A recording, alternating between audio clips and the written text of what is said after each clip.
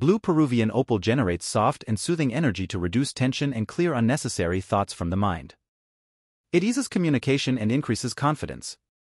It also encourages ideas to flow more freely.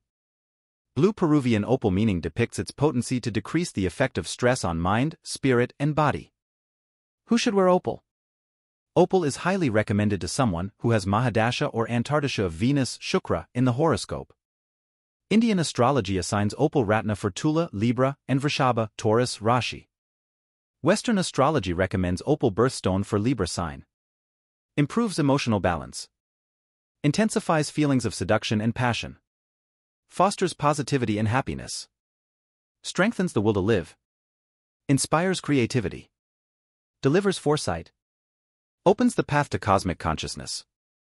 Imbibes self-awareness. Opals are believed to have metaphysical properties, such as promoting creativity and emotional healing, according to some belief systems. Disadvantages Opals are relatively soft gemstones, which makes them more prone to scratches and damage compared to harder gemstones like diamonds.